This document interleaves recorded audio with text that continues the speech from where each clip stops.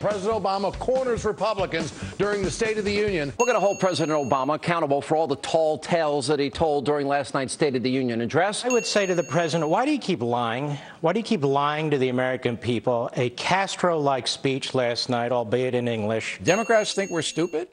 Apparently they do. And they may be right.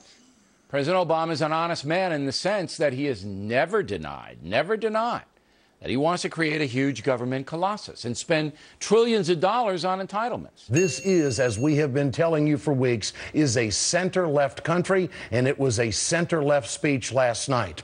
And if the Republicans don't want to get on board, they'll pay a political price in 2014. Oh my God. Marco Rubio took a sip of water during his address.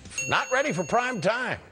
Players, uh, there's no question about it. He is not ready for primetime players. He does not have the jersey on right. They want to obfuscate, word of the day, what Rubio said by making a big deal out of this trivial water deal. Well, Obama takes a cigarette drag when nobody's looking, and, uh, you know, Clinton's hanging out when the interns when nobody's looking. I think this is stupid. This is so foolish. But it, does it show desperation on the part of the left? Well, just have it right there. You don't have to put it on the other side of the room. Just, just, it's, it's water.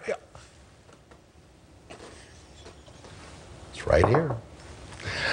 I guess you could say it's uh, all water under the bridge right now. I didn't write that.